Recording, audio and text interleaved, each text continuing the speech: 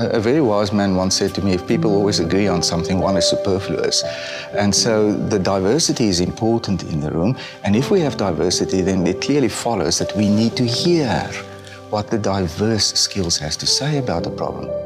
I grew up in a small place, really tiny little township at the far end of the Silk Road in China. One of the consequences of coming from a blue collar background is that you always feel an imposter in the room. And uh, what that does is makes you strive harder to fit.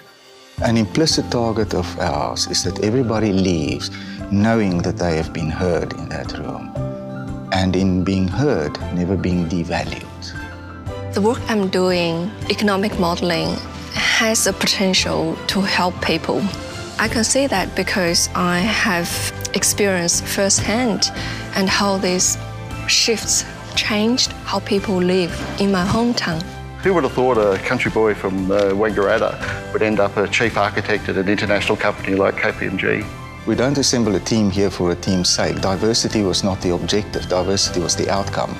The objective is to solve something that quite literally has never been solved before.